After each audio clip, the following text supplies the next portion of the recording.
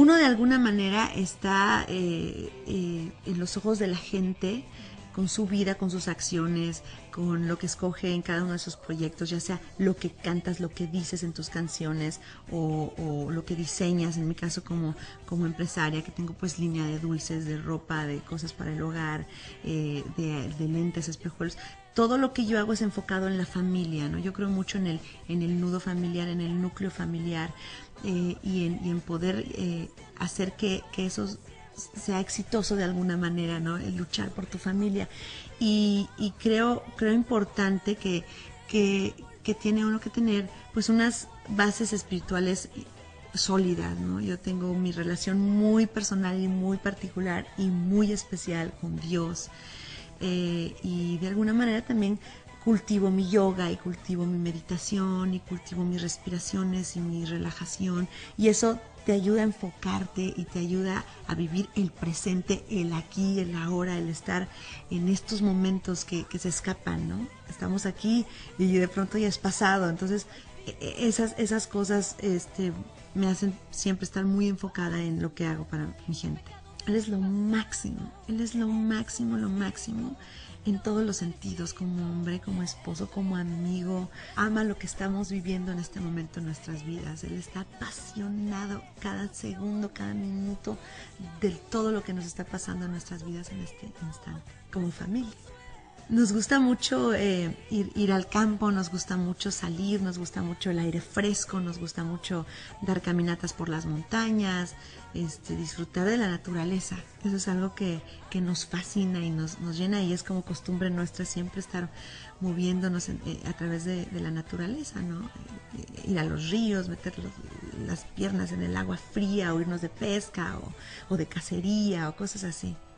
Bueno, la amistad es, es, importante para mí, sobre todo cuando ni con cinco dedos de la mano cuento a mis amigas, ¿no? O a mis amigos.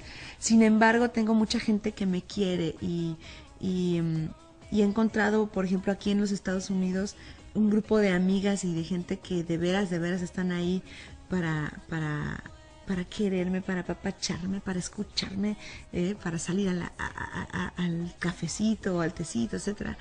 Eh, y, también, ¿no? Tengo pues amigos en mi patria que pues son como más locochones que yo amo eh, y nos vemos de pronto, vienen para acá a visitarme o nos vemos en algún punto donde nos encontremos alguna playa en México, etcétera.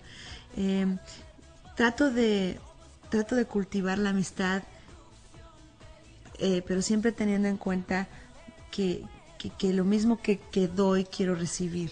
O sea, quiero, quiero sentirme que, que no me están usando, ¿no? Que no me están utilizando. Y eso es como muy... Es difícil. Es difícil, pero es posible pues soy como muy hiperactiva, entonces no, no puedo, no puedo quedarme quieta, entonces siempre estoy agarrando eh, proyectos nuevos que hacer. En este caso, bueno, mi madre es pintora y yo me acuerdo desde pequeña siempre estuve agarrando los pinceles y, y plasmando en, en, el, en el lienzo óleos, etcétera, y, y, eso me ayuda mucho como que, como que a relajarme, a sacar un poco del estrés y, y aclarar mis ideas en el lienzo, ¿no? De pronto dibujas unas, pintas unas cosas muy extrañas y dices, ay, eso traigo adentro, de, eso traigo que no ha sido resuelto en mi subconsciente, que medio hay que resolverlo.